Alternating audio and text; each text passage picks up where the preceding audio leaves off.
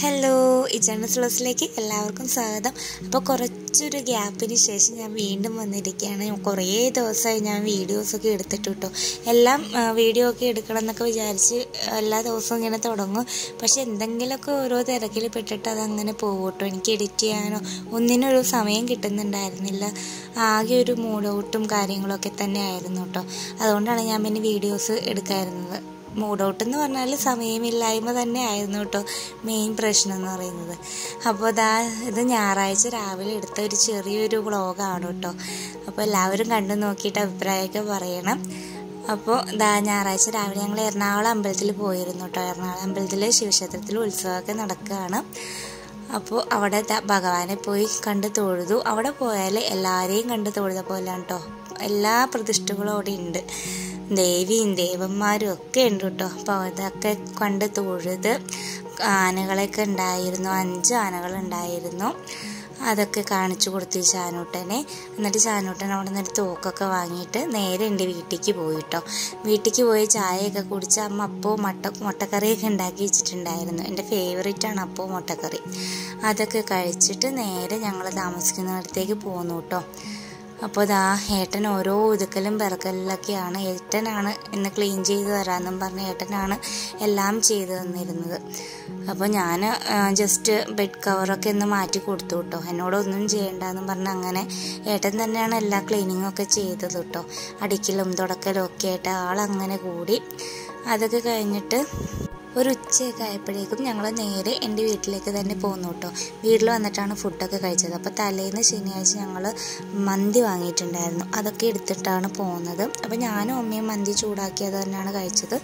ഏട്ടനും അച്ഛനും ചോറും മീൻകറി ഉണ്ടായിരുന്നു. മീൻ വറുത്തത് ഉണ്ടായിരുന്നു. ക്യാബേജ് തോരൻ ഉണ്ടായിരുന്നു.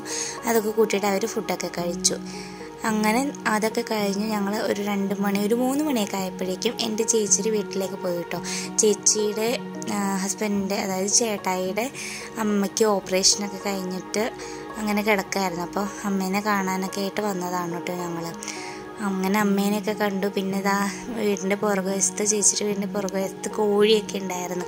അപ്പോൾ ഷാനൂട്ടിനെ കോഴീനെ കാണിച്ചു കൊടുക്കാനായിട്ട് ചേച്ചി കൊണ്ടുവന്നതാണ് കേട്ടോ.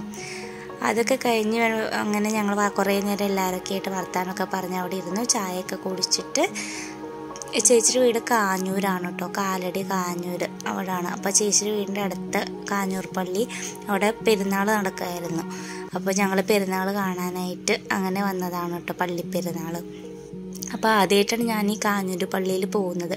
അപ്പോൾ ഞങ്ങളൊരു ഗ്രൗണ്ടിൽ വണ്ടിയൊക്കെ നിർത്തിയിട്ടിട്ട് അപ്പോൾ ഗ്രൗണ്ടിലെന്ന് പറഞ്ഞാൽ ഇതുപോലെ നിങ്ങൾ കണ്ടില്ലേ ആ ഒരു തൊട്ടിലും ഒക്കെ ഉണ്ടായിരുന്നു. കയറണമെന്നൊക്കെ വിചാരിച്ചിരുന്നു പക്ഷേ ഷാനൂട്ടനെ കൊണ്ട് ഒന്നിനും നടക്കൂല.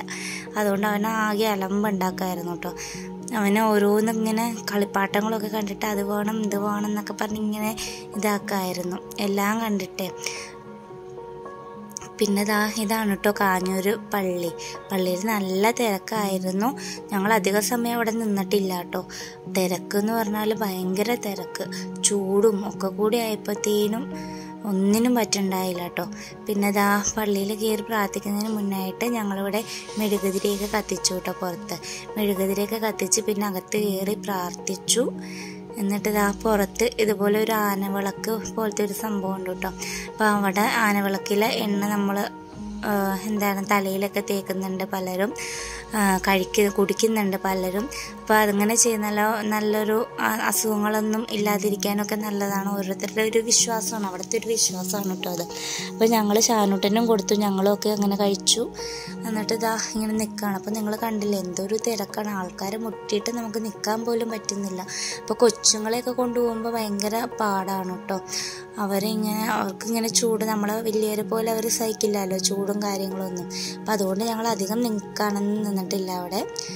നേരെ പോന്നു കേട്ടോ അപ്പോൾ പോരുന്ന വഴി ഓരോ സാധനങ്ങളൊക്കെ കണ്ടിട്ട് അങ്ങനെയാണ് വന്നത്. പിന്നെ അച്ഛൻ അവന് ലൈറ്റ് കത്തുന്ന പോലത്തെ ഒരു ബലൂണ് പോലത്തെ ഒരു സാധനമൊക്കെ വാങ്ങിച്ചു കൊടുത്തു കേട്ടോ. അവനപ്പോൾ അത് കണ്ടപ്പോഴത്തേനും ഹാപ്പിയായി. പിന്നെ ഇതാ പോകുന്ന വഴി റോഡുകളിൽ നിറച്ച് ഇങ്ങനെ ലൈറ്റ് ഇങ്ങനെ കത്തിച്ച് വെച്ചേക്കാണ് കേട്ടോ പള്ളിപ്പെരുന്നാൾ പ്രമാണിച്ചിട്ട്. നല്ല രസമായിരുന്നു റോഡിന്റെ രണ്ട് സൈഡും ഇങ്ങനെ ലൈറ്റുകളൊക്കെ കണ്ടുകൊണ്ട് പോകാനായിട്ട് അടിപൊളിയായിരുന്നു കേട്ടോ ഷാനൂട്ടൻ ഇങ്ങനെ നോക്കി നിൽക്കുകയാണ് അവന് ലൈറ്റൊക്കെ കാണുന്നത് പല നിറത്തിലും ഒക്കെയുള്ള ലൈറ്റുകൾ പല ഡിസൈനുകളും ഒക്കെ ഉണ്ടായിരുന്നു. അടിപൊളിയായിരുന്നു കേട്ടോ നല്ലൊരു കാഴ്ചയായിരുന്നു. അപ്പോൾ അതൊക്കെ കഴിഞ്ഞ് ഞങ്ങൾ പോകുന്ന വഴി ഒരു ഷൂ കടയിൽ കയറിയിരുന്നു കേട്ടോ. രണ്ടു മൂന്ന് ദിവസമായിട്ട് ചാനൂട്ടന് ഒരു ഷൂ നോക്കി അന്വേഷിച്ച് നടക്കണം അവന്റെ സൈസിലുള്ളത് കിട്ടാൻ ഭയങ്കര പാടാണ് കേട്ടോ. അങ്ങനെ ആ കടയിൽ കയറിയെങ്കിലും അവിടെ നിന്നും കിട്ടിയില്ല. അങ്ങനെ നേരെ വീട്ടിലേക്ക് എത്തി. ഒമ്പത് മണിയൊക്കെ വീട്ടിലെത്തി.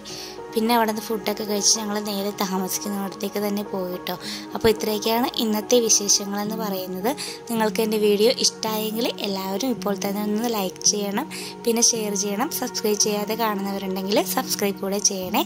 മറ്റൊരു നല്ലൊരു വീഡിയോ ആയിട്ട് നമുക്ക് ഇനിയും കാണാം. അതുവരെയും താങ്ക്സ് ഫോർ വാച്ചിങ് ബൈ